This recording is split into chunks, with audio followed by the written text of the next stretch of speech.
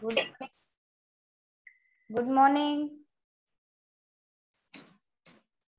ચલો માઇક બંધ કરી દેજો માઇક બંધ મ્યુટ કરી દો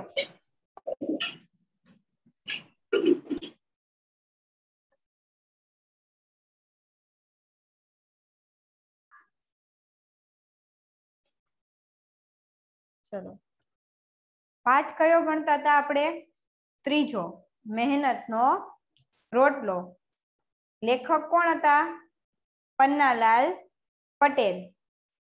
બોધપાત શું હતું? બોધ. આમાંથી આપણને શું મળે છે? બોધ મળે છે. તો કયો બોધ મળે છે? તો કે પ્રામાણિકતા અને શ્રમનો. શ્રમ કરીએ તો મહેનત કરીએ અને પ્રામાણિક રહીએ. એ ત્રણનો બોધ મળે છે. ચલો. હવે એમાં પેજ નંબર આપણે ક્યાં પહોંચ્યા શું હતું? તો કે એક મોચી ભગત નામનો ભગત હતો. તે મોચી સીવ એટલે કે ચપ્પલ સીવાનું કામ કરતો હતો.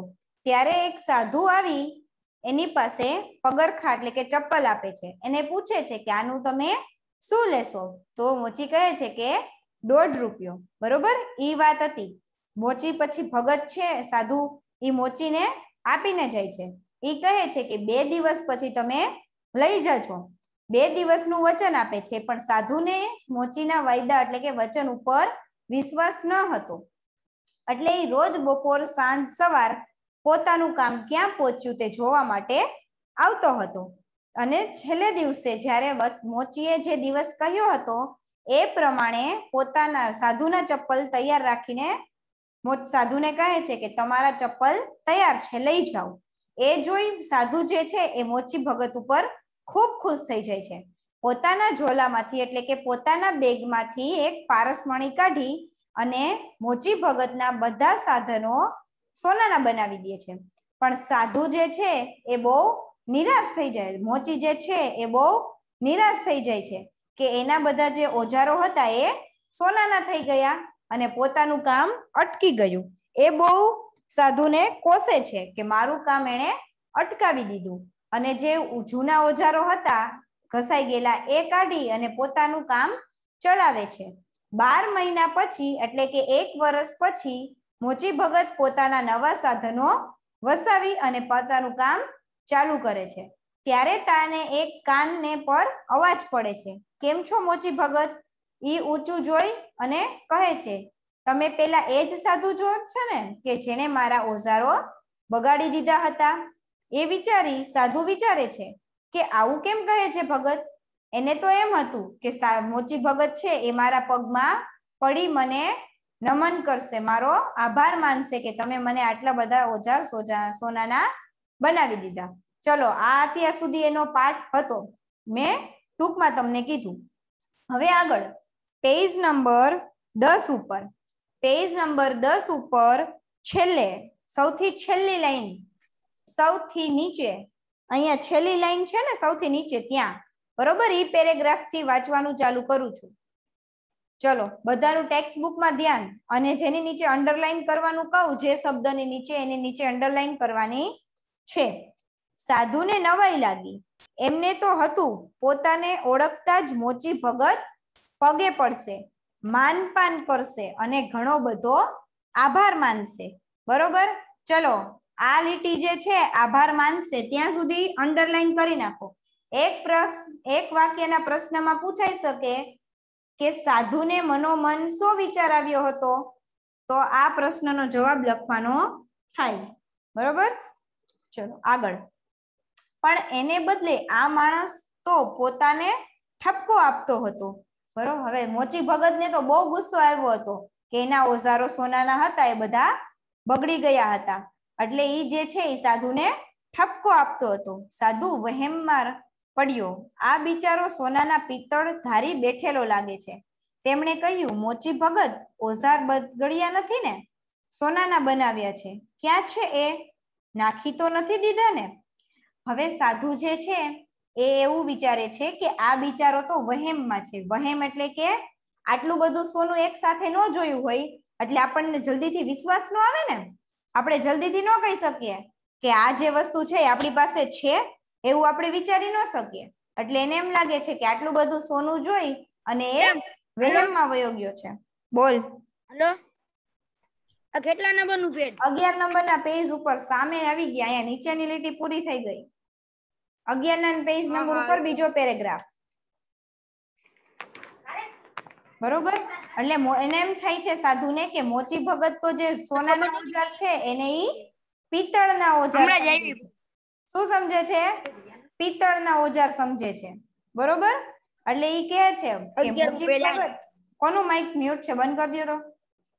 કે મોચી ભગત ઓજારો બગડ્યા નથી ને? સોનાના બનાવ્યા છે. ઈ સામેથી કે છે. કે એને એમ થાય કે સોનાના છીએ. એટલે એ કે છે કે મોગ ભગત, જે જે સોનાના ઓજારો છે એ બગડ્યા નથી ને? ક્યાં છે એ? નાખી તો નથી દીધા ને? એવું એ મોચી ભગતને પૂછે છે. મોચી ભગત કહે છે, મને ખબર છે મહારાજ, સોનાના છે, પણ એ સોનું મેં ખારા, મારા બાવડાના બળથી ઓછું મેળવ્યું છે. હવે શું કે છે? ચલો બાવડાના બળ લખ્યું ને બાવડાના બળ. એની નીચે લીટી કરો. બરોબર? એનો મિનિંગ લખો. બાવડાના બળ એટલે કે જાત મહેનત. શું થાય? બાવડાના બળ એટલે કે જાત મહેનત. લખી નાખો નીચે. મને ખબર છે, મોચી ભગત બોલે છે કે મને ખબર છે કે એ સોનાના છે, પણ એ મારા બાવડાના બળથી ઓછું મેળવ્યું છે. હવે તમારી પાસે તમે જે તમારી પાસે તમને મમ્મી દસ રૂપિયા આપે અને તમે મહેનત કરીને સો રૂપિયા કમાવો, તો તમારી પાસે મહેનત કરેલા પૈસા વધારે છે કે નહીં? બરોબર? તો આપણે જે મહેનતથી કમાણા હોય ને એ આપણા માટે વધુ હોય. કોઈએ આપેલું આપણને ઓછું જ લાગે. આપણે જે મહેનત કરીને કમાઈ ને એ આપણા માટે સૌથી વધારે હોય. કોઈ આપે એ તો બે ત્રણ દિવસમાં પૂરું થઈ જવાનું છે. પણ મહેનત કરીને જે કમાયા હોય કમાવ્યા હોય, પછી બચત કરી હોય, તો આપણને ક્યારેક એ કામમાં આવે. તો એ આપણને ખ્યાલ છે કે આપણે મહેનત કરીને કમાણા છીએ એમ. બરોબર? અત્યારે કોરોનાને લીધે કેટલા બધા ધંધા છે એ બધા બંધ થઈ ગયા છે કે કેટલી બધી દુકાનો હોય વેલી બંધ થઈ જાય છે, તો એ લોકોને કેટલી બધી નુકસાની જાય છે. તો એ લોકોએ ધંધો જ્યારથી ચાલુ કર્યો, ત્યારથી બચત કરી હોય, તો અત્યારે પોતાના ધંધામાં અને પોતાના ઘર માટે પૈસા વાપરી શકે ને? બરોબર? કોઈ બીજાએ આપ્યા હોય, તો તો એ તો ક્યારના પૂરા થઈ ગયા હોય? એ તો બચત ન કરી શકે. તો અત્યારે પોતાનો ધંધો ચલાવવો હોય તો મુશ્કેલી પડે ને?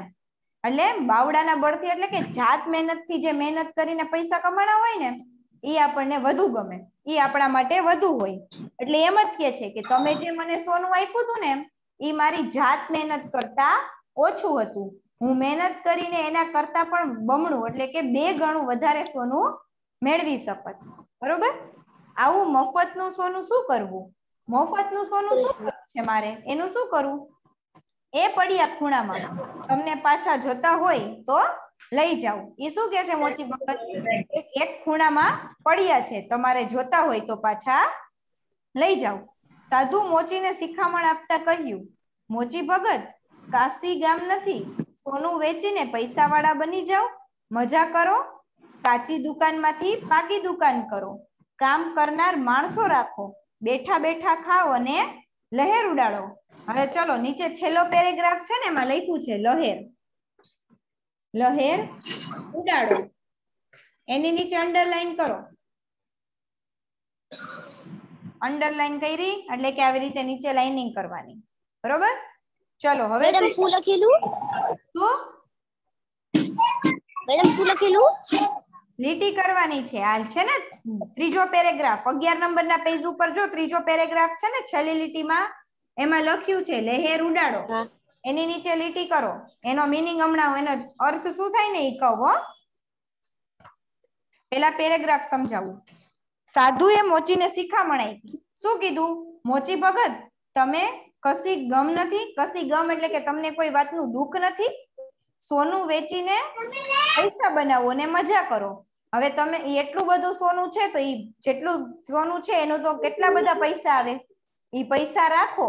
કાચી દુકાન એટલે કે નાના નાના પથ્થર બનાવીને જે દુકાન બનાવી છે, એનો મોટો શોરૂમ બનાવો. બરોબર? એમાં કામ કરતા માણસો રાખો અને તમે બેસીને આરામથી ખાવ લહેર ઉડાડવું એટલે કે બેસીને ખાવું.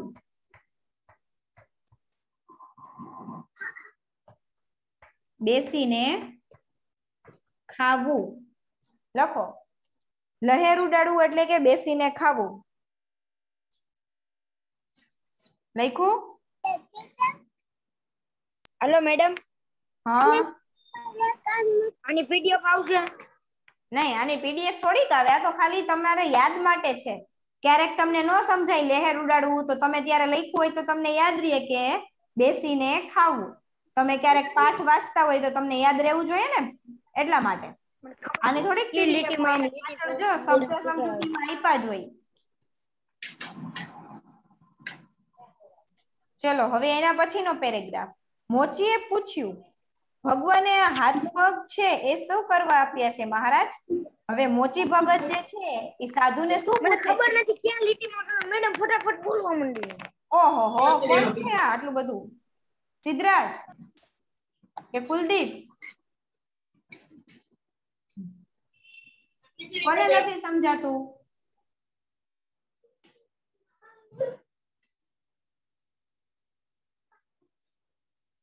બોલો કોને નથી સમજાતું? કોને બાકી રહી ગયું લખવાનું? મને નથી સમજાતું મેડમ.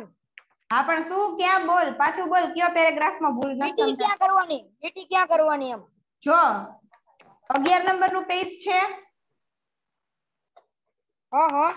એમાં જો સાધુ સાધુ મોચીને શિખામણ આપતા કહે છે. ઈ પેરેગ્રાફ છે ત્રીજો? કઈ ત્રીજી લીટીમાં? ત્રીજો પેરેગ્રાફ ત્રીજો પેરેગ્રાફ. ફકરો ફકરો. સાધુ મોચીને શિખામણ આપતા કહ્યું.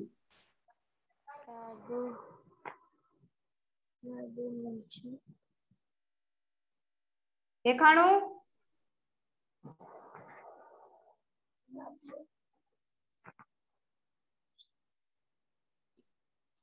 કે આ પેરેગ્રામમાં?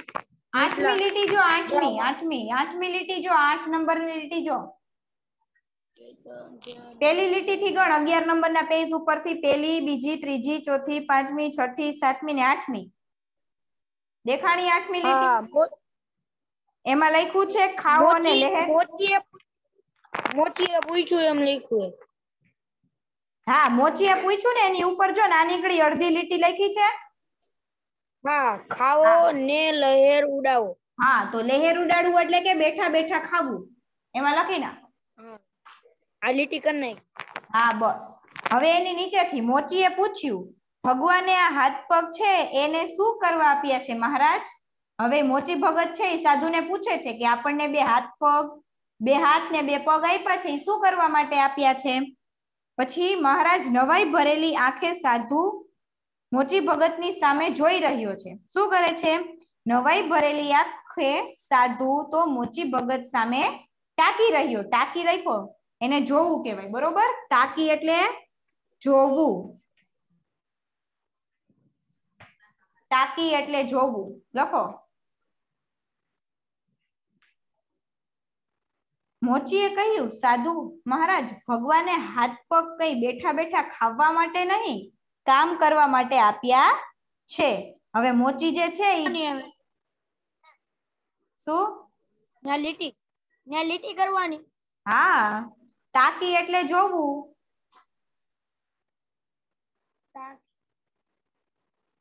પછી તમે ક્યારેક વાંચતા હોય ને તો તમને ભૂલ થાય એટલા માટે બેટા. તાકી એટલે જોવું બરોબર? થઈ ગયું?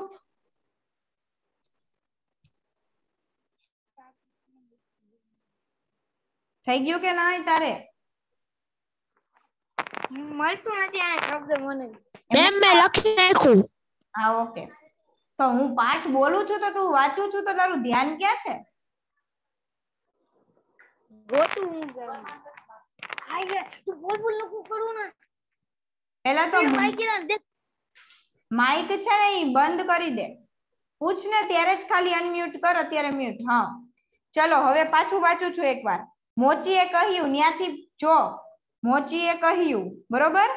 પેલા પૂછ્યું પછી નવાઈ ભરેલી આંખ અને પછી મોચીએ કહ્યું સાધુ મહારાજ ભગવાને હાથ પગ કઈ બેઠા બેઠા ખાવા માટે નહીં કામ કરવા માટે આપ્યા છે. એટલે કે આપણને મહેનત કરવા માટે આપ્યા છે. બેસીને ખાવા માટે નથી આપ્યા. કે હું જે સોનું છે એ વેચીને આરામથી ખાઉં. એટલા માટે કેમાં લીટી કરવાની? ચલો પછી આગળ. આ સાંભળી સાધુ બોલ્યા, મોચી ભગત, સાચી વાત છે. સાધુને પણ મોચી ભગતની વાત સાચી લાગે છે. ભગવાને કામ કરવા જ હાથ પગ આપ્યા છે. હવેથી હું પણ હાથે કમાઈને જ ખાઈશ ને તમારા જેવો જીવનો આ સાચો આનંદ મેળવીશ. બરોબર? શું કે છે? સાચું. મોચીની જે વાત હતી એ પણ સાધુને સાચી લાગે છે. એ પણ કહે છે કે ભગત, તમારી વાત સાચી છે. હાથથી કમાઈ હાથ પગથી મહેનતથી કમાઈને જ હવે હું જીવનનો આનંદ લઈશ. સાધુ કોઈ ઊંડા વિચારમાં પડી ગયા હતા. બરોબર? આટલું બોલી અને સાધુ જે છે એ ઊંડા વિચારમાં પડી ગયા હતા. પોતાના કામ કામે વળગતા મોચીએ સાધુને પૂછ્યું, કેમ મૂંગા થઈ ગયા? હવે મોચી ભગત છે છે એ પોતાના કામ ઉપર માટે પાછો જતો હતો. પણ સાધુ તો પોતે એના ના વિચારમાં ઊંડા ખોવાઈ ગયા હતા. એટલે મોચી ભગત જે છે એ પૂછે છે, કેમ મૂંઝાઈ ગયા? સાધુએ કહ્યું, હું મૂંઝાઈ નથી ગયો. વિચારમાં પડી ગયો છું. એટલે સાધુ શું કે છે કે, હું કઈ મૂંઝાઈ નથી ગયો, પણ ઊંડા વિચારમાં ખોવાઈ ગયો છું. બરોબર? સા વિચારમાં પડી ગયા મહારાજ? મોચી ભગત જે છે એ સાધુને કહે છે સા વિચારમાં પડી ગયા મહારાજ? મેં તમને કહ્યું એ ખોટું છે. હવે જે મોચી ભગત જે છે, એ સાધુને પૂછે છે કે મેં તમને જે વાત કરી, એ ખોટી કરી? તમારા વાત નથી. હવે સાધુ શું કે છે? તમારી વાત નથી, મારી વાત છે. સાધુએ મોચી સામે ગંભીર ભાવે જોઈને કહ્યું. હવે સાધુ જે છે, એ મોચી ભગતની સામે ગંભીરતાથી વાત કરે છે. આપણા ઘરમાં કોઈ એવો પ્રસંગ બન્યો હોય તો મમ્મી પપ્પા વાત કરતા હોય તો ક્યારેક એ ગંભીર બનીને વાત કરતા હોય, બરોબર? હસાહસી કરીને કે મજાક મસ્તી કરીને તો વાત કરતા જ હોય. પણ ક્યારેક કોક એવી વાત હોય તો એ ગંભીરતાથી કરવી પડે. કે એમાં ક્યારેક આપણને દુઃખ વાળી વાત હોય, કોક વસ્તુ ઘટના એવી બની હોય, કોક અકસ્માત થયો હોય, તો એ ગંભીરતાથી કરવી પડે. એમાં મજાક મસ્તી થાય નહીં. એટલે સાધુ છે એ પણ મોચીની સામે ગંભીરતાથી જોવે છે. હું પણ નાનું મોટું તપ કરું છું. જે મારી પાસે સોનો બનાવવાનું સાધન છે. હવે સાધુએ છે ને ઘણા બધા વર્ષ સુધી તપ કર્યું હતું પેલાના જમાનામાં શું હતું? ઘણો વર્ષો પહેલા કે સાધુ જે છે ને, એ વર્ષો વર્ષ સુધી તપ કરતા. પછી એમાંથી ભગવાનને પ્રગટ કરતા કે ભગવાનની ઈચ્છા પૂરી કરવા માટે ભગવાનને જમીન ઉપર આવવું જ પડતું. એ સાધુની પાસે આવવું જ પડતું. એવું સાધુ તપ કરતા. તપ કરી અને પોતા ભગવાનને પ્રગટ કરતા. પછી ભગવાન એની જે માંગતી ઈચ્છા પૂરી કરતા. જે સાધુને જોતું હોય, એ ઈશ્વર એટલે કે ભગવાન એની માંગતી ઈચ્છા પૂરી કરતા. એટલે ભગવાન પાસેથી એને શું માંગ્યું હતું? તો કે પારસ બના, એટલે કે પારસમણી માંગી હતી. શું માંગ્યું હતું? સોનું બનાવવાનું સાધન બનાવ્યું છે. છતાં મેં એનો ઉપયોગ મારી જાત માટે કદી કર્યો નથી. સાધુ શું કહે છે? કે જે મારી પાસે પારસમણી જે છે ને, સોનું બનાવવાનું સાધન, એનો ઉપયોગ મેં કોઈ દી મારી જાત માટે, એટલે કે મેં મારા માટે કોઈ દિવસ કર્યો નથી. જો સાધુ પોતે ધારતા હોત, તો પોતાની પાસે જેટલી વસ્તુ હોત, ઘરમાં પોતાનું ઘર, કાર, બંગલો જે પણ હોત એ બધું સોનાનું બનાવીને રહી શકત ને? પોતે પણ મસ્ત બેસીને ખાઈ પી શકત. પણ સાધુએ પોતે કોઈ દી આવું કર્યું ન હતું. એને પોતાના જાત માટે, એટલે કે પોતાની ખુદ માટે પારસમણીનો ઉપયોગ કર્યો ન હતો. ભિક્ષા માંગીને પેટનો ખાડો પૂરું છું. ભિક્ષા એટલે કે સાધુ હોય એ ઘરે ઘરે માંગવા આવતા હોય. પછી તમારા ઘરે પણ ક્યારેક કોક સાધુ માંગવા આવ્યા હોય, તો આપણે એને સીધો આપીએ ને? દાળ, ચોખા છે, પછી ઘઉંનો લોટ, એવી બધી વસ્તુ આપણે સીધામાં આપતા હોઈએ. બરોબર? એટલે એ ભિક્ષા માંગીને પોતાનો પેટનો ખાડો પૂરો કરે છે. પોતાના પેટનો ખાડો પૂરો કરવો એટલે કે પોતાની મહેનતથી પોતાનું ગુજરાન ચલાવે છે. જેમ તમારા મમ્મી પપ્પા આખી દિવસ રાત મહેનત કરીને તમારું ઘર ચલાવે છે, એવી રીતે સાધુ પણ પોતે ભિક્ષા માંગીને પોતાનું ઘર ચલાવે છે. પણ આજે તારી આ ભિક્ષાનો જે ગર્વ મારામાં હતો તે પણ ગાળી નાખ્યો. હવે શું કીધું? કે જે મેં ભગવાન પાસેથી જે ભિક્ષા માંગી હતી, ભિક્ષા એટલે કે ભેટ, એટલે એમાં આ માટે ભેટ થાય છે. કે જે મેં માંગ્યું હતું ભગવાન પાસેથી સોનું બનાવવાનું સાધન, એ પણ તે આજે એનો પણ તે મને ગાળી નાખ્યો. ગાળી નાખ્યો એટલે કે એનો પણ હવે મને કોઈ દુઃખ નથી. કે એ વસ્તુ પણ હવે મારી પાસે ન હોય ને, તો પણ એની મને કોઈ જાતનું દુઃખ થશે નહીં. આજથી તમે મારા ગુરુ. સાધુ જે છે એ મોચી ભગતને શું કહે છે? આજથી તમે મારા ગુરુ. ગુરુ એટલે કઈ એક ટીચર જ ન હોય ગુરુ નો મિનિંગ ખબર છે કોઈને? ગુરુ નો મિનિંગ ખબર છે કોઈને? હમણાં ગુરુ પૂર્ણિમા ગઈ. ગુરુ પૂર્ણિમા એટલે શું થાય કોઈને ખબર છે? એમ મને ખબર. હા તો બોલો. જે આપણે એને શીખવાડે ને એ ગુરુ પૂર્ણિમા કહેવાય. હા. તો તમારા માટે તમારા પહેલા ગુરુ કોણ છે? તમે. ના જો એવું ન હોય કે હું મારા તમારા પહેલા છે ને તમારા માતા પિતા ગુરુ થાય. કોણ થાય? તમારી પહેલા મારા પહેલાના ગુરુ કોણ છે તમારા? માતા પિતા તમારો જન્મ થયો બરોબર? તમારો જન્મ થયો ત્યારે તો હું તમારી પાસે નહોતી ને? આ તો તમે ધોરણ પાંચમાં પહોંચ્યા ત્યારે હું તમને અત્યારે સમજાવું છું ને શીખવાડું છું. એ પણ જે પાઠમાં આવે છે એટલું જ. પણ જે તમારા જીવનમાં જે શીખવાનું છે, જીવનમાં શું કરવાનું છે, એ તો તમારા માતા પિતા જ તમને શીખવાડે છે ને? બરોબર? તો ઈ તમારા પેલા ગુરુ થાય. બરોબર છે? અમારા માટે પણ અમારા માતા પિતા હોય, ઈ પેલા જ ગુરુ છે. તો તમારા માટે પણ તમારા ગુરુ છે એ સૌ પ્રથમ કોણ હોવા જોઈએ? તમારા માતા પિતા તમારો જન્મ થયો ત્યારથી લઈને અત્યાર સુધી તમને કેટલી બધી શિખામણ આપી હોય? કે આપણે આવું રીતે ચાલવું જોઈએ સત્ય બોલવું જોઈએ કોઈ સાથે ખોટું ન કરવું જોઈએ બરોબર? ભણી ગણીને મોટું થવું જોઈએ કંઈક નામ કમાવવું જોઈએ.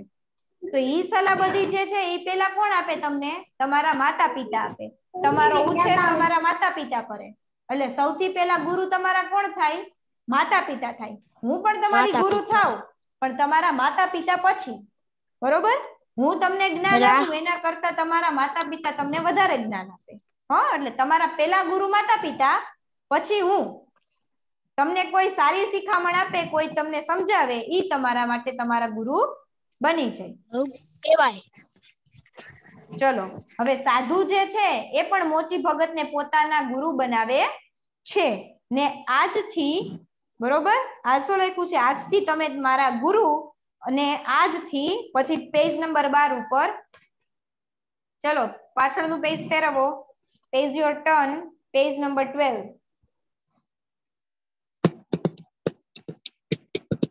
આજથી હું તમારા આ દાખલો યાદ કરીને મારા ગર્વને ધોતો રહીશ. બરોબર? ગર્વ એટલે શું થાય? જો, અહીંયા લખો. ન્યાય પૂછે પહેલી જ લીટીમાં ગર્વ લખ્યું છે? ગર્વ એટલે કે અભિમાન. લખો. ગર્વની નીચે લીટી કરો અને લખો અભિમાન.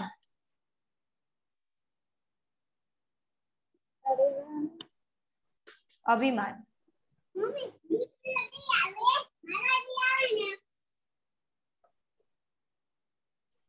બરોબર ગર્વ એટલે કે અભિમાન હવે શું કે છે સાધુ કે તમે આજથી મારા ગુરુ છો અને તમે જે મને દાખલો એટલે કે હાથ પગ શેના માટે આપ્યા છે, એ દાખલો જે આપ્યો છે ને, એ હંમેશા હું યાદ કરીશ અને મારા ગર્વ એટલે કે અભિમાનને તોડતો રહીશ.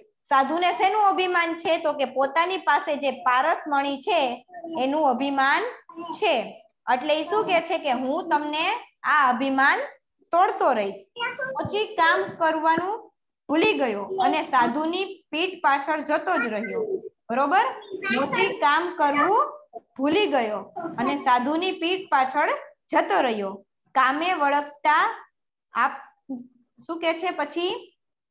સાધુ જે છે એ બધું પોતાનું કામ મૂકી અને સાધુની પીઠ પાછળ, એટલે કે પાછળ જઈને ઊભો રહી જાય છે. સામે વળગતા આપ ખરા સાધુ છો, બરોબર?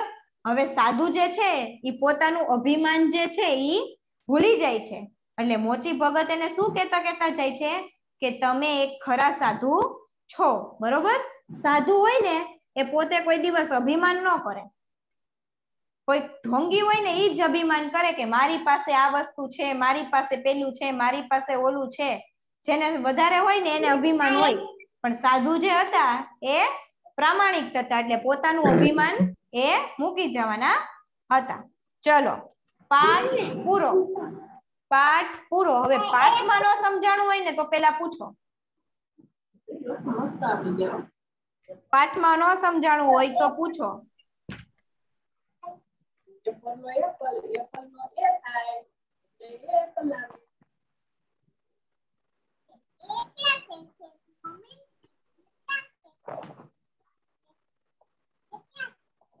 સમજાઈ ગયું